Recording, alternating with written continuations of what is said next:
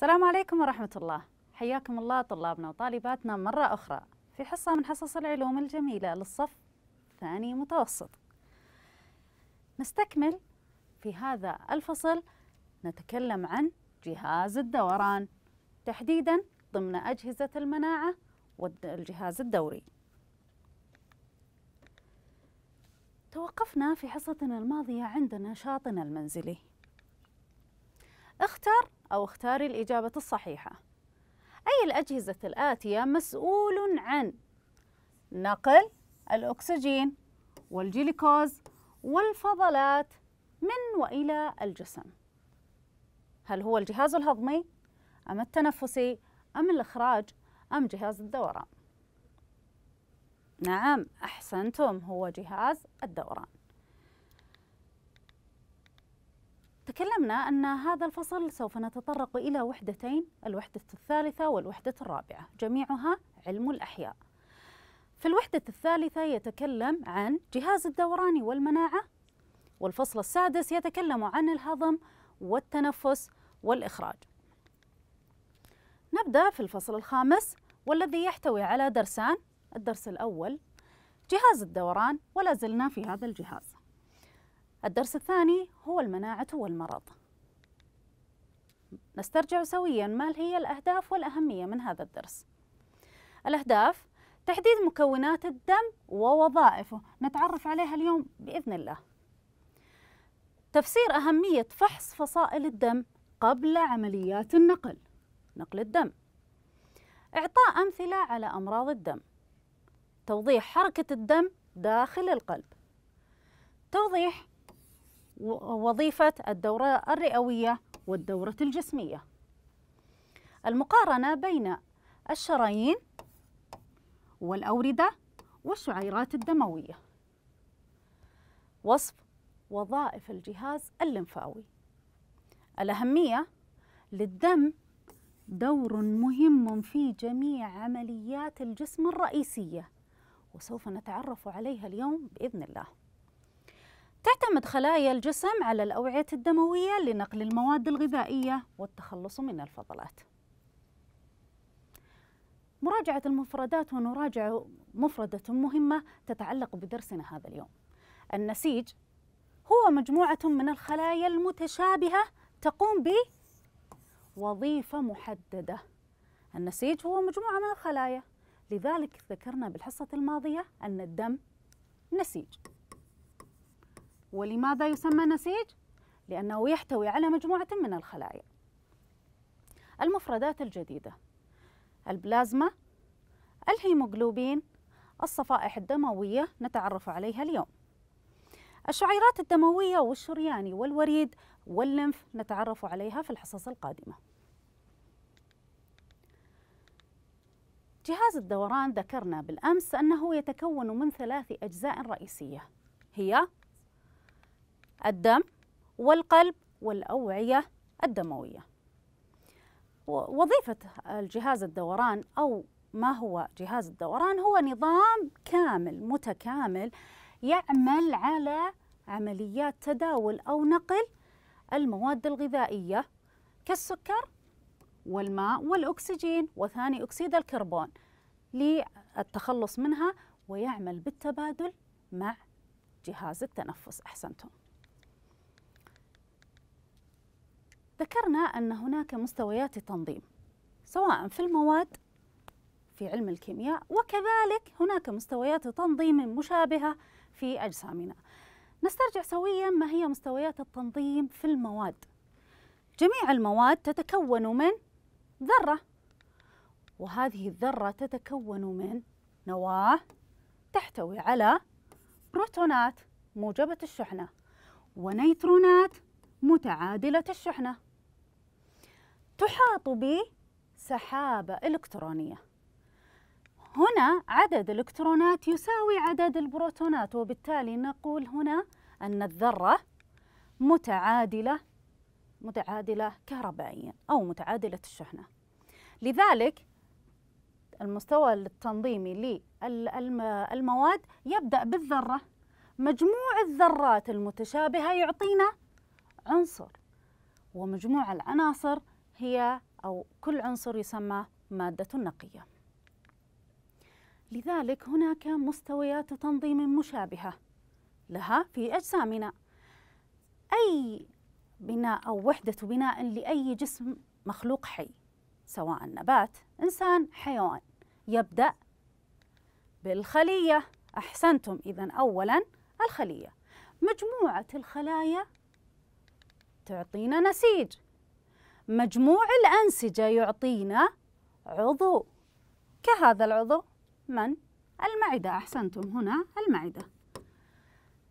مجموع الأعضاء تكون لنا جهاز. بما أنه من المعدة إذا هو من أي جهاز؟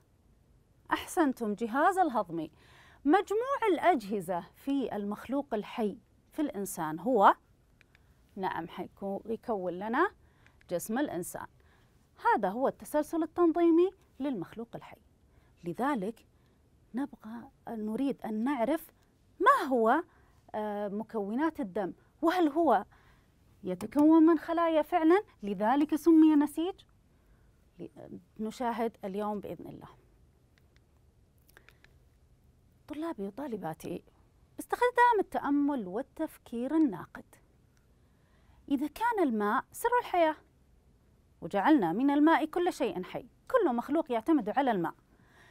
لماذا يسمى الدم نسيج الحياة؟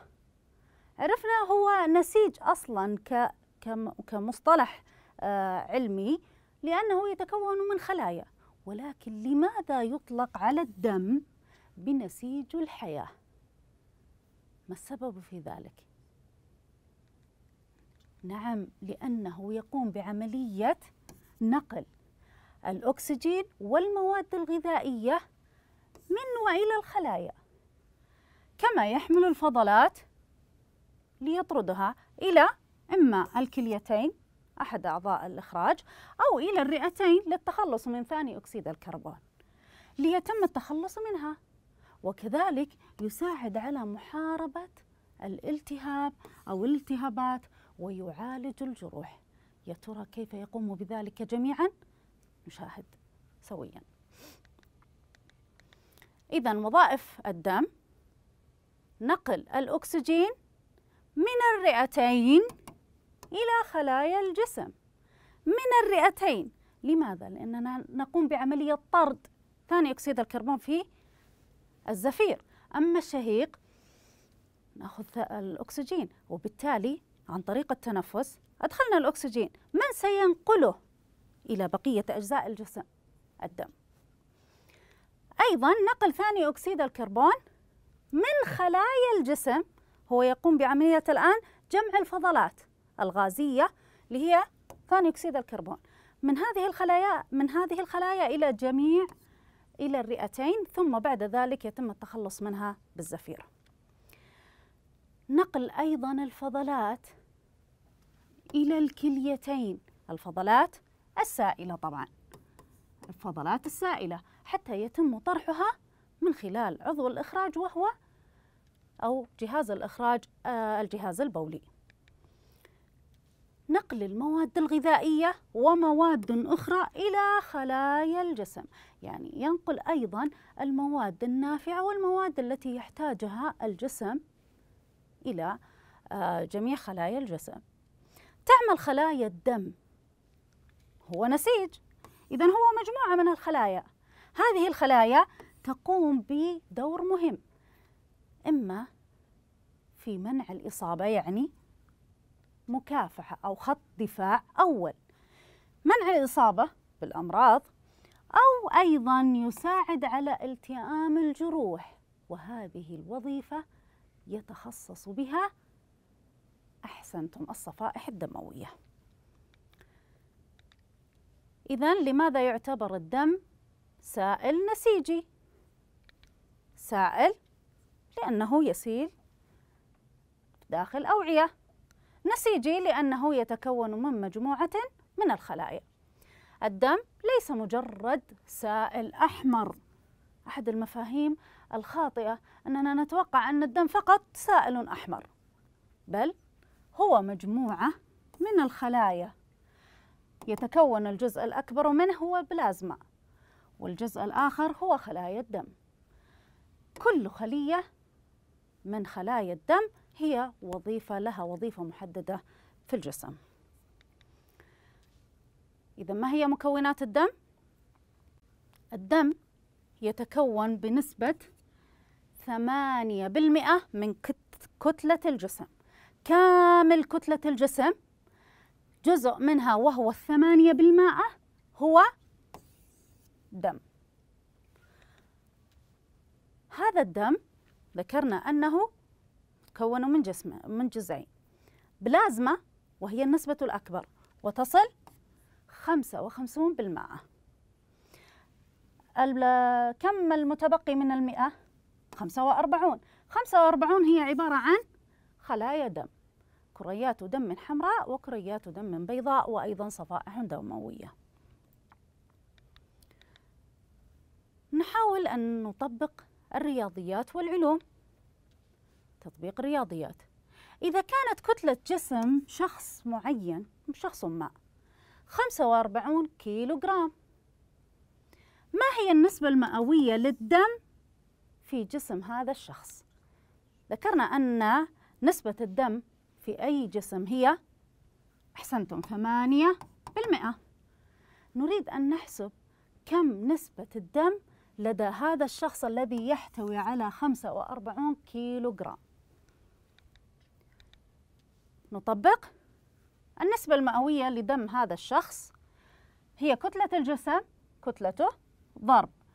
نسبة الدم الأساسية العامة تقسيم الماء. لماذا تقسيم المئة؟ لأنها نسبة. نبدأ. كم كتلته؟ 45 أحسنتم. كم النسبة العامة للدم؟ ثمانية. نضربهم مع بعض ثم نقسمهم على المئة. سيكون الناتج 45 ضرب 8 360 تقسيم 100 سيتكون لدينا 3.6 بالتقريب ممكن نقول 4 بالمئة. إذا نسبة الدم في هذا الشخص كم؟ 4 بالمئة. بالتالي أنتم تستطيعون تطبيق هذه النسبة لتعرفوا نسبة الدم لديكم إذا علمتم كم كتلة كل شخص منكم. الدم نسيج سائل أحمر اللون. كما تشاهدون وضعنا الإطار باللون الأحمر آه تقريبا للدم. يتكون من ماذا هذا الدم؟ يتكون من بلازما. كم نسبتها؟ أحسنتم هي الأعلى 55% وأيضا خلايا دم حمراء وخلايا دم بيضاء وصفائح دموية. نتعرف على كل جزء منها. أولا البلازما. شاهدوا الصورة. هذه عينات دم في أنابيب آه، آه، مختبرات طبية. جزء سائل. إذا من الذي يعطي الدم هذه الخاصية في السيلان أو السيولة؟ نعم إنها البلازما. هو جزء سائل من الدم. معظم هذا البلازما ماذا؟ ماء فلذلك أعطاه هذه الخاصية خاصية السيولة. تذوب فيه المواد الغذائية والأملاح والفضلات. نسبته في الدم خمسة وخمسون بالمائة هذا بالنسبة للبلازما. الجزء الثاني اللي هو كم؟ المتبقي. أحسنتم خمسة وأربعون بالمائة هي خلايا الدم بشكل عام. خلايا الدم نسبتها خمسة وأربعون وهي كريات دم بيضاء كريات دم حمراء أو خلايا دم حمراء وصفائح أو صفيحات دموية. نبدأ بخلايا الدم بالتفصيل. هذه أشكالها. لاحظوا شكل كل منها لأننا سوف نتعرف لماذا يكون هذا الشكل لكل منها. لما لم تكن جميعها مثلا قرصية. لماذا لم تكن جميعها؟ لا تحتوي على أنوية. كل واحدة منها لها شكل وتنظيم محدد. شاهدوا شكل كريات الدم الحمراء. كريات قرصية. لا يبدو فيها أي أنوية. البيضاء. ليس لها شكل منتظم. هل هناك أنوية؟ نعم. بعضها تحتوي على نواة أكثر من نواة. الصفائح الدموية هنا قد لا تكون واضحة شاهدوا هنا. كيف برضو لها؟ بروزات وأشكال آه، غير منتظمة. إذا لها أشكال عديدة تعتمد على الوظيفة التي تقوم بها. نبدأ بخلايا الدم الحمراء. تأملوا جيدا. قرصية الشكل لا تحتوي على أنوية لماذا؟ هي الخلايا الوحيدة في الجسم التي عند النضج لا يتكون لها نواة لماذا؟ لأنها تقوم بعملية مهمة وهي تحتوي على الهيموغلوبين آه والأكسجين لكي تستطيع نقله إلى جميع خلايا الجسم إذا هي قوسية الشكل ليس لها نواة تحتوي على الهيموغلوبين وكذلك تقوم بنقل الأكسجين. أيضا تعيش 120 يوما. لابد أن تعوض. كيف يتم تعويضها؟ لذلك يصاب بعض الأشخاص بماذا؟ بفقر الدم. هذا السبب. لماذا؟ بسبب قلة التغذية لأنها تعيش 120 يوما. فلا بد من تجديدها بمصادر التغذية الصحيحة. يمكن إنشاؤها من العظام الطويلة نخاع العظم. سوف نتعرف في الجهاز الهيكلي على نخاع العظم ووظيفته في تصنيع كريات الدم الحمراء. عددها يصل خمسة مليون لكل مليمتر مكعب. أعدادها كبيرة لكن إذا لم يتم التغذية بشكل صحيح قد يصاب آه، الشخص بفقر آه، الدم. النوع الآخر من الخلايا وهي خلايا الدم البيضاء. خلايا الدم البيضاء. شاهدوا ليست منتظمة الشكل. لها أنوية قد يكون نواة أو أكثر. لماذا تحتوي على نواة ولا والحمراء لا تحتوي؟ لماذا لا تكون مشابهة لكريات الدم الحمراء؟ لا تحتوي على أنوية لأنها تقوم بوظيفة مهمة وهي خط الدفاع الأول للجسم. فهي تهاجم الميكروبات. لذلك تحتوي على نواة أو أكثر. تهاجم البكتيريا والفيروسات فيزداد عددها. تنشأ أيضا في العظام الطويلة. أيضا المصنع الآخر لكريات الدم البيضاء هو نخاع العظم. عددها يتراوح ما بين خمسة آلاف إلى عشرة آلاف لكل مليمتر مكعب. النوع الآخر من الخلايا هو الصفائح الدموية. عظيمات صغيرة خلايا صغيرة أو أجزاء خلوية صغيرة غير منتظمة الشكل. ليس لها شكل محدد. وظيفتها الأساسية أو هذا الشكل أو الاختلاف في هذا الشكل وأنها أجزاء غير منتظمة الشكل لهدف وظيفة مهمة وهي تخثر الدم. حينما نصاب آه، آه، بجرح أو يحدث نزف في الجلد نشاهد أحيانا طبقة خارجية. بعد ما يتوقف النزف لاحظ طبقة. هذه الطبقة هي الخثرة الدموية. ليست التخثر اللي هو المرض. الذي يصاب في الأوعية الدموية بل الخثرة. الخثرة هي طبقة تغطي أو تقوم بعملية وقف نزف الدم. فهذا الشكل يساعدها على أن تقوم بعملية سد مجرى الخثرة وسوف نتعرف على الخثرة في الحصة القادمة. تعيش ما بين خمسة إلى تسعة أيام. عددها يصل إلى أربعمائة ألف مليمتر مكعب.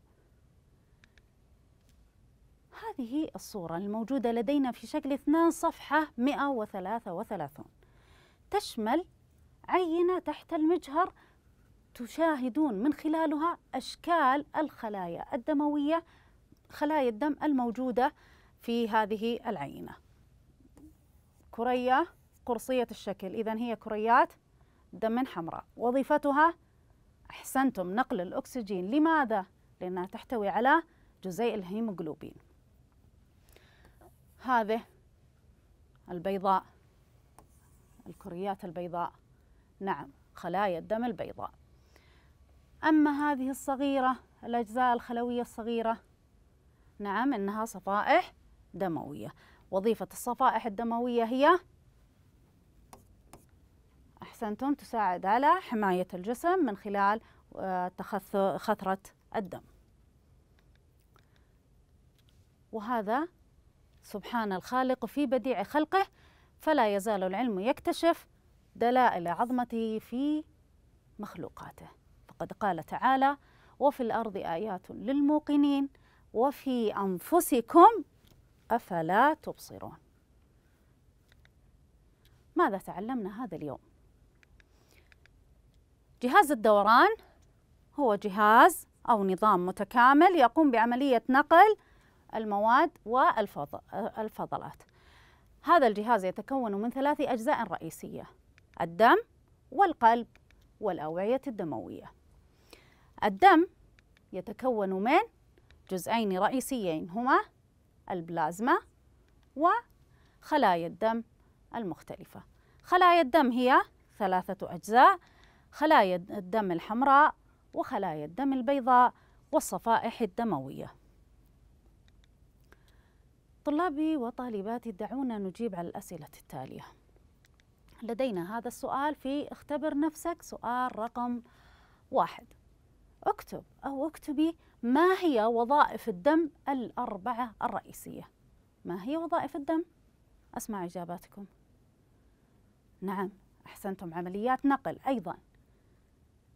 أحسنتم الحماية من الأمراض. نشاهد مع بعض نقل الأكسجين من الرئتين إلى خلايا الجسم نقل ثاني أكسيد الكربون إلى الرئتين للتخلص منه أيضا نقل الفضلات إلى الكليتين للتخلص منه عبر البول أو الجهاز البولي نقل المواد الغذائية ومواد أخرى نافعة إلى جميع خلايا الجسم وأخيرا تعمل خلايا الدم وجزيئاته على منع الإصابة بالجرثومة أو الميكروبات الدقيقة وكذلك تساعد على التئام الجروح.